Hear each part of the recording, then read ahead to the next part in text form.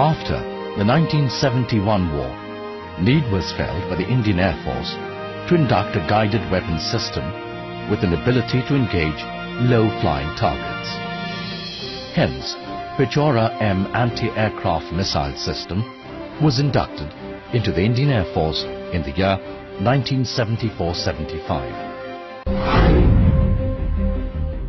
The combat envelope of the system acts as a strong deterrent for the enemy aircraft to venture into the skies protected by SAM-3.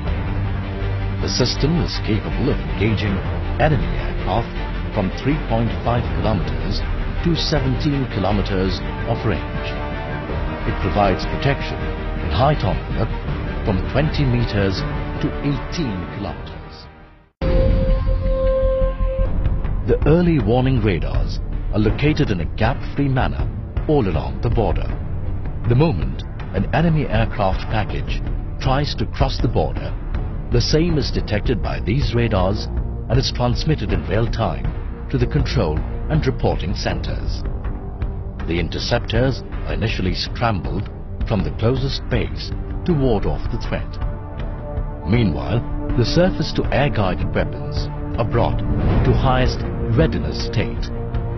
As the package comes closer, the Pechora are allotted the target, which then detects the same on the weapon radar.